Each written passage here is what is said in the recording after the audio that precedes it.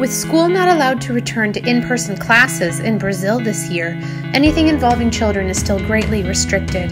For Children's Day this year, we worked hard to meet the families and best serve them in a safe and secure way, including passing out food baskets, having a drive through style setups, and even giving out and decorating masks. We were sad that we were not able to celebrate at all in Guadalajara, the hardest hit by COVID. We know the kids are going through a lot and ask for your continued prayers and support.